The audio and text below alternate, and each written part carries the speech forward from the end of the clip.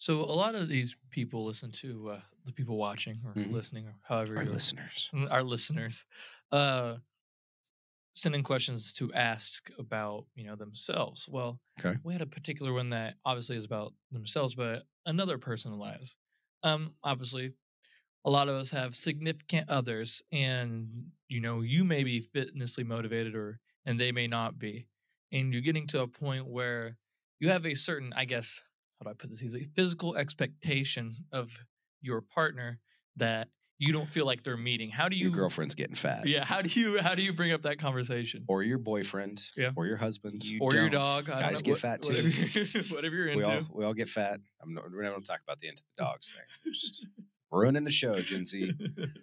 Now, that's a good question though. How do you talk to your significant other if you are if they're you know they're starting to put on the pounds and they're not watching their health and of course there's some some key things there especially as you get older i mean if you if you are 40s 50s like that's something that you need to start getting a handle on before you get older because i mean bad health in your 40s 50s you know just gaining weight and being overweight it's not going to go away in your in your 60s 70s like it's only going to get worse and it's only going to create bigger problems so it's obviously an important conversation so if you had if you had a wife or a girlfriend or a husband or a boyfriend whatever it is that's putting on excess weight you know how would you approach the topic john I I wouldn't. Um, no. If I if I did find myself in that situation, I would tread very lightly, but I would probably put more of the emphasis on the health aspect. You think the health would convince them I think I'm not saying anything would convince them. That's this is the angle I you would just take. you just go you say you know how your clothes don't fit anymore yeah, exactly. you know how That's- you had to buy a new new, new Once- yeah, wardrobe I'm honey talking we don't got money for another wardrobe Yeah. Bro, you know how The you're eating so much lately the feeling is what I would go off of to feel better, because I personally have been a little a little fat in my days, and I can tell you 100 percent you feel a lot better being an active person. you do for sure Um, so I would go off that the the things you're able to accomplish during your day, the way you feel during. but you're saying do you think i'm fat Yes, once again, Do I wouldn't. I I'm wouldn't be in this situation. you just let them you So just I let would- them keep getting larger yeah, I would absolutely not. I think there's a point in time where you do have to consider the health aspect. You know, Yeah, I there's, mean, there's a certain joking, group, I there's a certain, really certain group of people Yeah. that, that are into the larger the larger people. You know, both man and female, and so they may not have a problem with the way they look. Sure, But at a certain point, they do need to say, "Hey, you know, you're going to be pre-diabetic soon if you keep getting lar- larger, and you're going to have you know heart heart problems, and you're going to have all these other other issues that are kind of come you know along with your your health Yeah. being bad." And so I think that's a very a very necessary conversation. The other conversation we're talking about is obviously you know looks and attraction and personal preference and things, which is just as important in my opinion. sure. You know, you should always want to so look self good. So I wouldn't have this. I wouldn't have this sweet mustache if my wife didn't enjoy my sweet mustache. You know, so As that would be if she was like, "I hate your mustache." I probably, I'd probably get rid of it. So my facial instead, she thinks I look good, I guess. So the mustache is staying I uh, it's a tough one. she must have liked Tombstone when we watched it. Tombstone's a great movie. I um, yeah, I would. Uh, I would. Like I said, that's a tough one, but I do think it can definitely be done. Definitely can be done. Yeah, Brock, how would you approach this?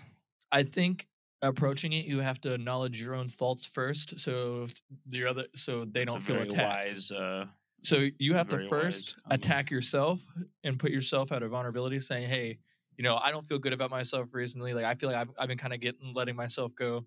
Can I, can I get you as a gym partner to kind of help me and push me through this journey to kind of motivate okay, me? okay, a little bit, a little bit tricksy there, eh? Yeah, you know, and it's like, you know, I obviously I'd be like, you know, maybe you, know, you obviously having it as active either. Maybe it'll help both of us, and then I'd start playing that angle. but it has to start off with, "It's my problem, my idea. Will you help me?" And then, Okay, and then, you know, let's say you're taking initiative and it's not being reciprocated.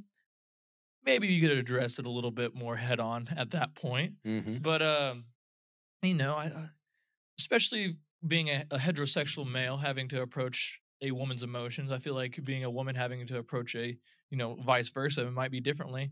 And uh, that's just kind of how I would do it. Is I don't see any success coming at it like, hey, honey, getting a little thick around the hips. You know, I I.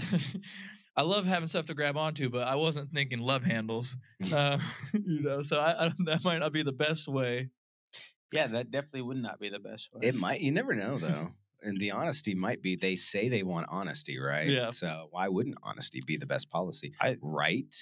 Right. right, right, right. You want us to be honest? yeah. You're just getting a little hefty. You need to start exercising. I think working out with me compared to you need to work out is an extremely important distinction. it is a dis- is a, it's a like good those one. three little words change the whole message. Do you want to go to the gym with me? It's the much easier way to get this started. Then you need to go to the gym.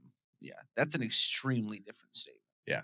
extremely different. Well, there's I think there's a lot of things that could could happen in terms of your conversation of like the quality of food that you'll eat, you know, things like that. I was what, what you guys say, buy at groceries. that probably has more of an effect than You know, doing. going grocery shopping together would be a good a good you know instance or something like that because you know she may be buying stuff that you're like why are you buying you know these cheese crackers every every time you go to the grocery stores you know you're not going to eat them if you don't have them whatever it is and just doesn't get them when it's Honest- there or helps her make better choices on food I think grocery shopping together is a, a huge. I was just thing. about to say, I don't think you'd have to be sneaky about it, but if, if you're actually dealing with that sort of issue, that's what I would do. Yeah. I mean, Susie is, is tiny, so I need to make her gain weight. So I get double stuffed Oreos all the time. Yeah.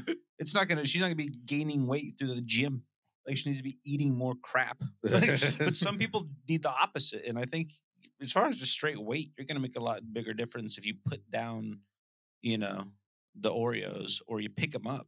That's gonna do a lot more. yeah yeah i think i think the grocery store thing is probably number one step in Mhm. that Because realistically, if if this is your partner, or spouse, or significant other, uh, majority of the time you you're not, you know, blame free in this whatsoever. Yeah. So I think coming at it approach like, hey, you have the problem, you need to fix this. Like, Mhm. I mean, I just, would- just because you find them like fat doesn't mean that they find themselves fat. So it's only a problem to you. So unless you're willing to make that effort to, I guess, uh, be their partner with it and and you know be a, take it on as a journey, I feel like that's the best way to approach it.